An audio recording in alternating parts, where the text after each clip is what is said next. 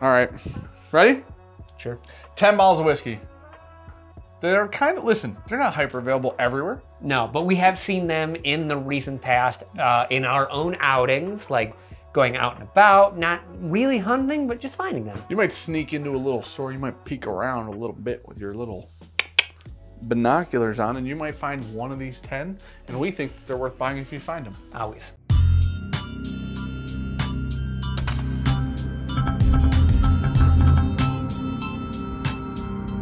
So, number one, we were just at Total Wine in Grand Rapids, Michigan. Don't they had like a that. bunch of Rebel 10 sitting on the bottom shelf at retail. I had my head down. Yeah. And you flipped that like right over and just clapped right in there. Um, I was out and about and I just found a bunch of Calumet 16 not that long ago. They had Sam Houston 15 next to it. Um, but I mean, this one was fantastic. 106 proof, 16 years old. What's not to love? Rebel 10's good, Wow. dude. Rebel 10's such a sleeper. Was this Barton? Yeah. Yeah. Really Cherry Barton, though, which is super weird. Like, Cherry Barton doesn't seem like the norm. so good. Calumet 16s. Now, listen, all the batches of Calumet 16s, uh, people have like different opinions on them. Yeah. The batches that we've had of Calumet 16s, we've loved, though. Um, the normal Rebel, I'm I'm on the fence with as a wheated bourbon goes. The Rebel 10s though, Mm-hmm. fantastic. Every time I have one, be it blind or just drinking it, Yeah. super good. Rebel 10s, I like. I like how we're now pitching each other's products. Yeah, true. Yeah. Yeah, we both we both really like Calumet 16 a lot. Yeah. Rebel 10 used to be like hyper hard to find in lotteries, allocated. Mm-hmm. Yeah. And I feel like nobody talks about it, and it's was literally a lottery. Holy moly what? cannoli, dude! A Lullalory? It was literally a lottery bottle. A lot of L's. So many. All right, next rendition. Oh, I just realized I have Yep. Yeah, you do. High West Bourye. Now the old ones though. Here, The new now I do think that 2023 Bourye, 2022, whatever year just that we just reviewed, I think it's the best one ever. That one is fantastic. New label, phenomenal whiskey in it, on freaking point. You can find the old ones though. Like in in shops where people don't hunt for whiskey, you can find old High West Bouryes and they have really old whiskey in them. They're really good. Um, you know, I can make people mad. Kentucky Owl, specifically like the batch threes. Um, Threes were still are really, really find. And they were still the two hundred dollar price tag, not the three hundred dollars Yep. that the price uh, of the batch four was. Um, Dan recently just found a batch two not that long ago down in 200 Florida, bucks, bought it. and two was his favorite. One Or was my favorite. One was Two was two was my favorite. So I was super happy that he bought it. If I ever find a batch one for two hundred dollars, I will lose it. This is actually a batch two. That the batch two and three, which is what you'll normally find now, is the three specifically. But price hike went on the final batch mm. or whatever it was called, batch four. Yep, the final batch. And Oh, so all good. of the owl ryes were good. Every Yes. one of them. Whether it was your favorite one or not, all the owl ryes, we liked all four of them. That 100%. being said, finding like an this is a long time ago now. Yeah. Twix, I was already out. Like this is I a- just found a three in the same place that I found a bunch of other. The place I found the Buchanan's uh, Pineapple? pineapple, Yeah. that was at the top shelf, so I didn't buy it. Um, this was sitting just down, like a normal bottle, very 200? accessible. Yep, two hundred bucks, one ninety nine Owl- ninety the nine. rise are so listen. The hammers. bourbons, the newer bourbons are kind of like they're expensive and they're whatever's. Yeah, I bought as soon as I saw a Bass Rye for two hundred dollars. I bought it as soon I as I don't saw think it. we've had a bourbon since batch eight, and I think they just put out like twelve. Yeah, they will not. They're still doing them without Dixon. So. Yeah, Yeah. not the same. These are easy, to, or these are findable though, especially if you stumble in stores that like don't look like you'd hunt at. You know what I mean? Hey, while you're here, you should like and you should comment. You should subscribe. It's free and it helps us. It's very beneficial. We love you. Why are you blinking so much? My next one, dude. Uh, just you know, let's switch it up a little bit. Oh, you want to go expensive, just like the last one? yeah. You know what? Angel's Envy cast strength. So this is a two hundred dollar bottle. We I like don't think a lot of people buy. We like those. Um, generally, these sit on shelves. We can go around, usually even in our area, and find them because they just sit. It's a two hundred dollar. Because they're expensive. It's a two hundred dollar bottle of Angels. I think now they're like 250, 225. But people look at them right next to the sixty dollar bottle. Yeah. Same bottle shape. uh, You get the little case. Last year's case was phenomenal. But- but there's not a big upsell on the package. It's cast strength. but the whiskey in it is phenomenal. It's one of my favorite yearly um, releases that's like a finished whiskey. Yeah. Just they so seem good. to be basically completely unfiltered as well. Oh like yeah. like some of the, especially the older was I have a 2016 somewhere. This is a 17.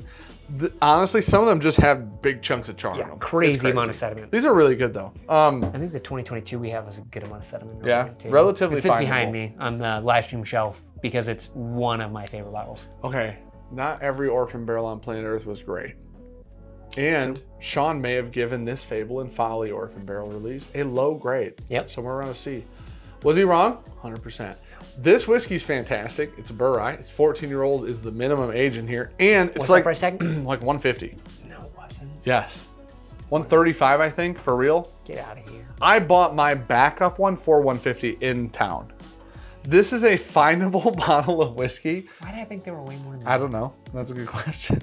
But I bought this. I just recently, like within the past few months, bought a backup of this and I left it in the bunker. I'm gonna keep it in the bunker for a long time and just open it someday when it's Solid old. whiskey, But it's really cool whiskey. This one 90 proof. is really good. We've shared this with a lot of people, which is why it's as low as it is.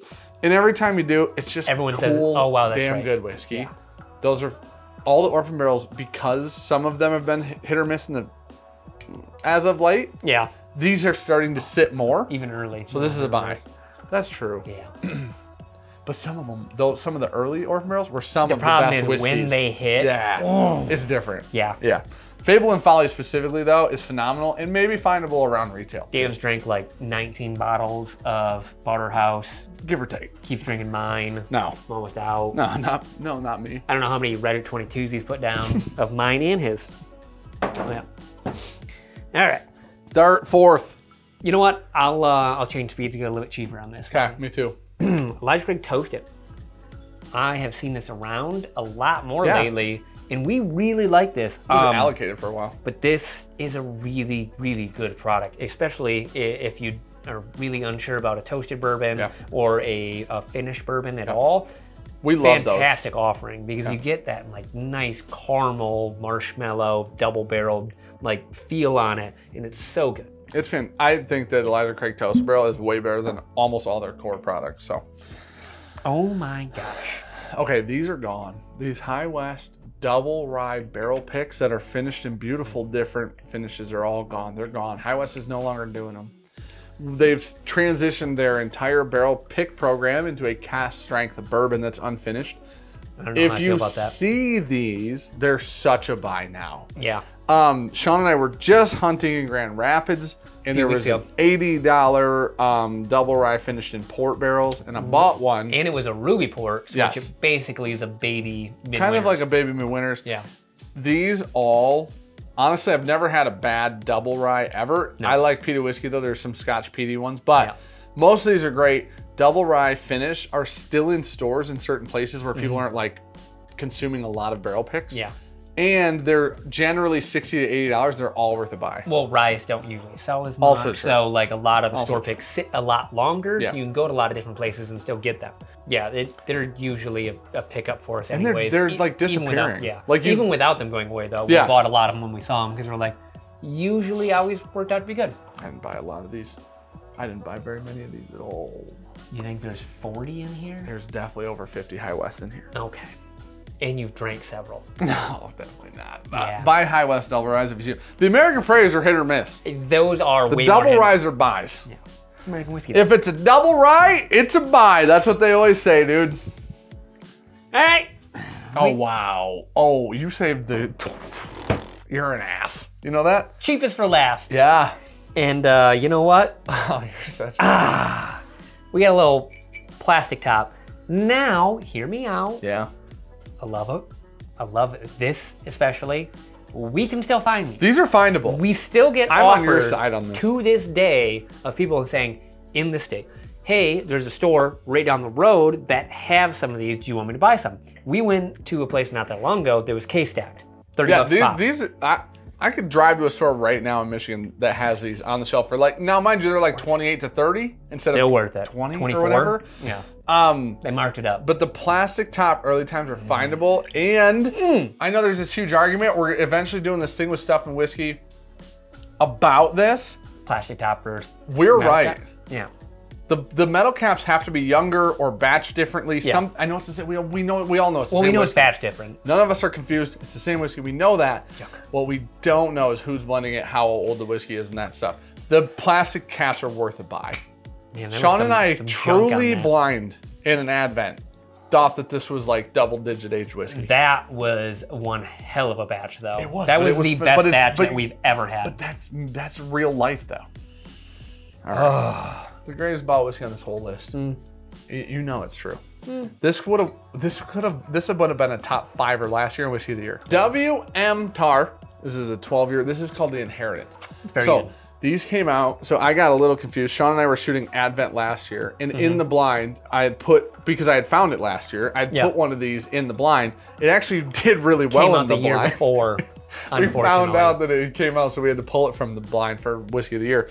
But these are very expensive. They're like 200 to 300 dollar range. They're supposed to be 250, I think. phenomenal whiskey though. Honestly, it is 120 together. proof. It's 12 years old. It comes in this cool bottle. It comes with a box. The whiskey inside this bottle is absolutely phenomenal. This is my second bottle, and I have a third. I just want you to know that. I, it's mm. very important to know that that's know that? some what.